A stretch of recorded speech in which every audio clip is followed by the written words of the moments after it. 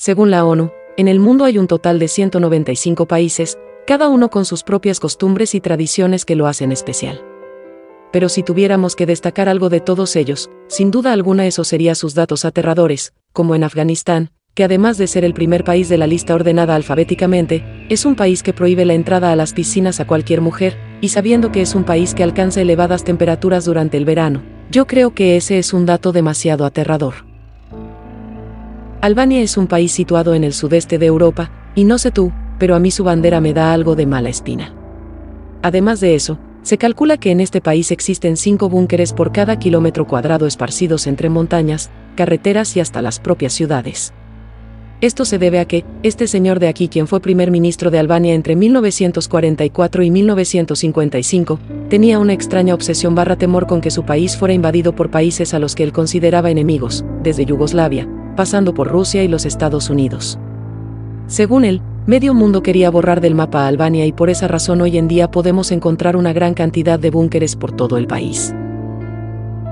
Seguro sabes que muchos youtubers famosos deciden irse a vivir a Andorra para ahorrarse unos cuantos billetes en impuestos, pero algo que quizá no sabías de este país es que el 90% de su territorio es naturaleza, algo que a simple vista puede parecer algo positivo, pero si tenemos en cuenta que es un país con clima frío y tan pequeño que puedes recorrerlo de orilla a orilla solo caminando, si eres un turista aventurero podrías perderte muy fácil y congelarte. Sé que esto es algo muy poco probable, pero la probabilidad está ahí. Angola es el segundo país en todo África que más exporta diamantes, y seguro ahora te preguntas, ¿por qué ese sería un dato aterrador? Pues por el simple hecho de que, como suele ocurrir en casi todos los casos, países desarrollados son los que se benefician de los recursos de estos países menos desarrollados, llegando incluso a casos de explotación laboral en menores de edad. Pero esto era normal décadas atrás, pues Angola fue una zona con un alto comercio de esclavos durante siglos, y aunque la esclavitud se abolió por el 1880, algunas zonas de Angola continuaban con la terrible práctica incluso durante el siglo XX.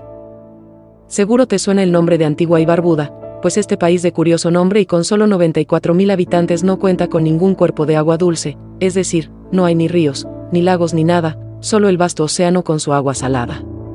Pero a pesar de eso, los habitantes de este país no tienen problemas en obtener agua potable, ya que cuentan con bastantes fuentes subterráneas. Pero solo imagínate que ese no fuera el caso, entonces sería una isla inhabitable. Gracias a que se trata de una pequeña isla en el Caribe, muchos huracanes han golpeado duro a este país a lo largo de la historia, pero el que se lleva el primer lugar en daños es sin duda alguna el huracán Hugo, que azotó esta región en 1989 causando enormes daños físicos y económicos. Seguro sabes que Arabia Saudita es un país donde las libertades de la mujer son demasiado restringidas, como por ejemplo, ellas no pueden casarse ni divorciarse libremente, pero algo que seguro no sabías es que apenas en el año 2018 se permitió que las mujeres pudieran pedir su licencia de conducir. En pocas palabras, antes del 2018, una mujer no podía conducir legalmente por las calles de Arabia Saudita. Y si ese dato te impactó, entonces piensa que fue hasta el año 2015 cuando las mujeres de ese país votaron por primera vez. Cabe mencionar que Arabia es un país monárquico, por lo que los votos de las mujeres fueron para elegir al órgano asesor del rey. Argelia es el décimo país más grande del mundo, pero solo el 12% de su superficie está habitada, ya que el otro 88% es una zona desértica no apta para el asentamiento humano, pues se trata nada más y nada menos que el desierto del Sáhara. Si creías que perderte en las frías montañas de Andorra era lo peor, ahora imagina perderte en el cálido desierto de Argelia, donde la temperatura más alta registrada fue de 60.5 grados centígrados. Y si hablamos de paisajes hermosos pero peligrosos, no puede faltar el pico más elevado del continente americano. Estoy hablando de la Concagua, la montaña nevada ubicada en Argentina con una altura de casi 7.000 metros sobre el nivel del mar. Espero no ser la única que sienta un poco de miedo al observar este paisaje de la Concagua. Armenia es un país ubicado entre Asia y Europa. También es un país con mucho misticismo, pues es una de las primeras regiones en aceptar el cristianismo en todo el mundo, por lo que su cultura y tradiciones están bastante relacionadas a esta religión. Por si fuera poco, existe un cementerio llamado Cementerio de Noratus, en el que todas las lápidas son esculpidas en piedra a mano, sin perder un solo milímetro de detalle. Me pregunto si estas misteriosas ilustraciones esconden algún significado. ¿Qué podemos decir de Australia, un país donde toda la fauna, en especial los insectos, son gigantes comparados con los del resto del mundo? donde al abrir el baño puedes encontrarte con esto.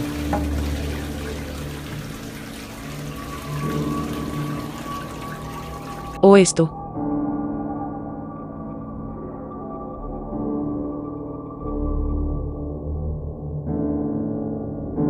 Pero algo que seguro no sabías es que el clima de este país también parece estar diseñado para deshacerse de los humanos, pues en verano, algunas regiones llegan a alcanzar temperaturas de hasta 50 grados Celsius, mientras que otras alcanzan temperaturas bajo cero. Algo que compensa todas estas aberraciones es el nivel de vida de los habitantes de este país, pues se sabe que la educación es muy buena y a pesar de lidiar con arañas gigantes, es uno de los países más seguros de todo el mundo. En la capital de Austria, Viena, existe un cementerio con aproximadamente 2.5 millones de tumbas, más que la población viva de la misma ciudad. Austria también fue lugar de uno de los más grandes efectos mariposa en toda la historia de la humanidad, pues la Academia de Bellas Artes de Viena es conocida por haber rechazado a un joven Adolf Hitler. Me pregunto, ¿qué hubiera pasado si lo hubieran aceptado? ¿Acaso se hubieran evitado todas las atrocidades que cometió si hubiese sido aceptado? En Azerbaiyán existen alrededor de 400 volcanes de lodo, los cuales no son aterradores por sí mismos, simplemente charcos burbujeantes unos más calientes que los otros, pero lo que conecta con estos fenómenos naturales y por lo que es apodada la Tierra del Fuego, es por sus laderas ardientes causadas por un gas que se filtra desde hace aproximadamente hace 4.000 años, hasta fecha de subido este video, continúa ardiendo y lo hará por varios años más. Pero la mayor pista de que este país esconde muchas cosas en sus profundidades, además del infinito gas, fue el descubrimiento de los restos fosilizados de un Neanderthal que data de aproximadamente dos millones de años atrás. Y según los arqueólogos, aún faltan muchas cosas por descubrir, por lo que la próxima piedra que excaven podría tratarse del eslabón perdido. Y estos fueron algunos datos aterradores de países. Ahora dime, ¿cuál fue el más misterioso barra tenebroso de todos ellos? A mí me intrigó mucho lo que ocurre en Azerbaiyán, sin duda alguna un lugar que exploraría si fuera arqueóloga.